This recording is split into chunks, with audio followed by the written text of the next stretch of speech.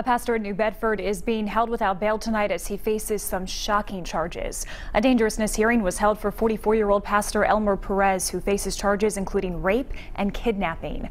Eyewitness News reporter Anita Buffoni joins us now live in studio with why the judge says Perez is a danger to the community. Anita? Well, Caroline, the prosecution laid out disturbing details in court today about an alleged sexual assault that took place in October at the New Bedford Church. The judge ordered Elmer Perez be held for up to four months pending trial. Any objection? No objection. From the approach. Prosecutors described the alleged facts in this case as a pattern of predator behavior.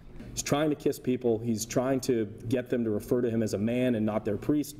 Uh, all of these things uh, suggest that this is what this defendant does. The alleged incident involved a 28-year-old female parishioner who says she was raped by Perez inside the Iglesia de Jesucristo Church on Acushnet Avenue. The defense called the church parishioner to take the stand to try and dispute statements made, including how and if Perez locked the alleged victim inside the church during the incident.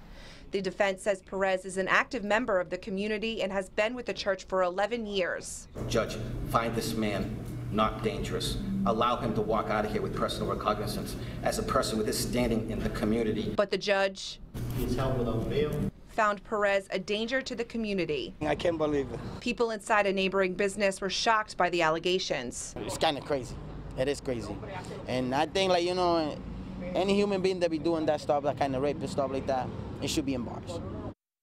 Now, the prosecutors say some of his alleged victims and Perez himself are not in the United States legally. Now, coming up new at 6, hear more from the attorneys in court and reaction from people in the neighborhood. I'm Anita Buffoni, Eyewitness News. Now to disturbing allegations against a local pastor. Today in court, the prosecutor didn't mince his words when making his case against Pastor Elmer Perez. I argue, Your Honor, that the facts of this case suggest a classic pattern, a pattern of predator behavior from this defendant.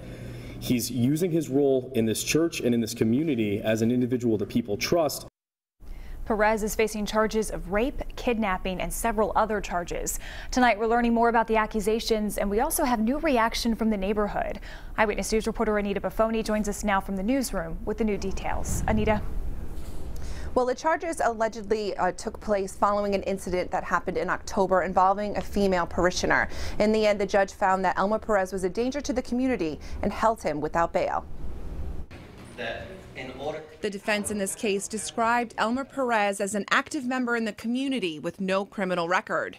Judge, find this man not dangerous. Allow him to walk out of here with personal recognizance as a person with his standing in the community. But the prosecutors painted a different picture, asking Perez be held without bail. the defendant be kept out of the community that he's exploiting for his own sexual benefit. I don't know how that can be done if this defendant isn't held. Among the charges, Perez is being accused of raping a 28-year-old female parishioner inside the Iglesia de Jesucristo Church in New Bedford. Whether Perez locked the victim inside the church was debated at Thursday's dangerousness hearing. Prosecutors say five other women have come forward with similar allegations. These individuals are afraid to come forward because they have immigration consequences. And I'd argue that that's what makes the population that this defendant has been targeting an easy target for him. According to the prosecution, Perez himself is not legally in the United States. Customers in a neighboring barbershop were shocked by the news. It concerns me a lot because, you know, I have kids and it's kind of like, you know, it's not, it's not cool at all. I can't, I can't believe it. I can't. Now, the defense says that Perez has been with the church for 11 years, and the judge held him without bail for up to four months while awaiting trial. In the newsroom, I'm Anita Buffoni, Eyewitness News.